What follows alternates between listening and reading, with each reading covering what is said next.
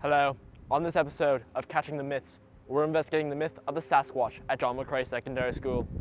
We're talking about the creature within John McCrae, a tall, lanky, long-haired creature that stalks the school at night.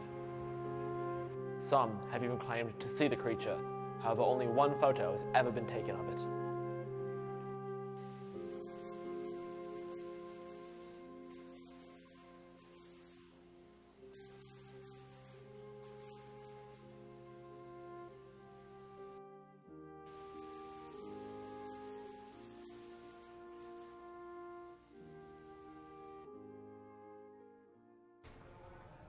I was in the second floor hallway by the Comtech room when I saw him.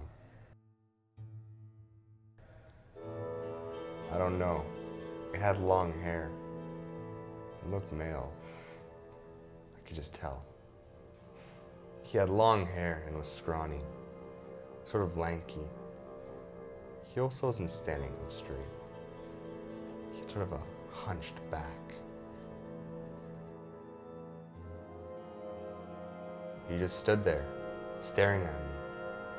Then he walked away and huffed.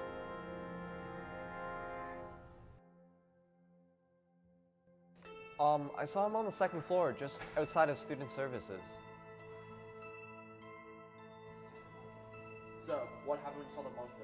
Did he attack you? No, he didn't attack me, but he did make a loud screeching noise when uh, we made eye contact. That's twice the monster has been seen on the second floor of the school. Perhaps it's just a coincidence, but it could be a lead to find where the monster is.